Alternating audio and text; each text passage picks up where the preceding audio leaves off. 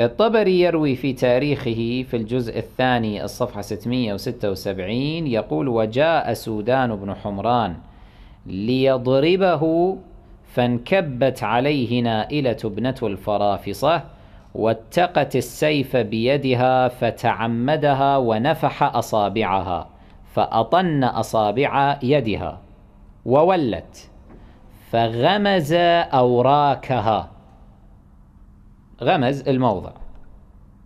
وقال إنها لكبيرة العجيزة. وضرب عثمان فقتله. إذا هذه الروايات ماذا تكشف إخواني؟ لاحظوا مسألة مهمة. من مجموعة مصادر من مصادر أهل الخلاف. أن القوم دخلوا على دار عثمان أحرقوا الباب واقتحموا الدار وانتهكوا حرمة عثمان بهذا الانتهاك القبيح حسب ما هم يرون إلى درجة أن أحدهم أمام مرأى عثمان غمز أوراكنا إلى زوجته ضرب عجيزتها وقال إنها لكبيرة العجيزة.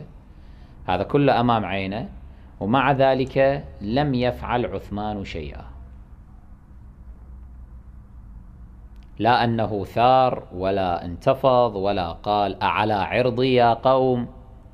مثلا لا أخذ سيفا شيء ما فعل. سجارة جارة جارة جارة سجارة.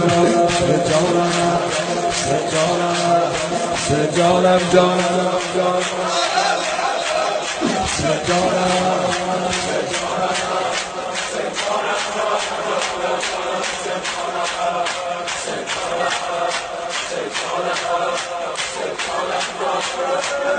سجانم سجانم سجانم سجانم سجانم جانم جانم جانم سجانم سجانم